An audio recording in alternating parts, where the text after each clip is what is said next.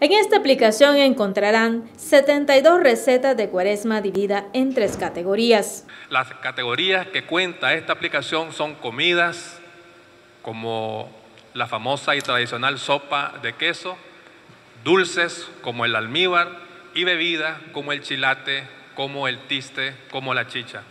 Nosotros tenemos a disposición del pueblo nicaragüense esta aplicación con sus recetas con su procedimiento para elaborar cada comida con un lenguaje sencillo. Además, se informó que a partir de esta semana se estarán realizando festivales de música sacra con la participación de coros estudiantiles y orquestas sinfónicas. Vamos a tener a partir de hoy en el Instituto Rigoberto López Pérez de Managua, vamos a tener el 16 de marzo en el Carlos Bravo de Granada, el 17 en el preescolar Caracolitos en Cuigalpa, el 18 en el Centro Educativo Padre José en Matagalpa, el 19 en el Teatro Municipal Azarías Palé de Corinto. Esta semana también se inaugurarán diversos centros educativos en todo el país, con una inversión de 23 millones de córdobas en infraestructura escolar.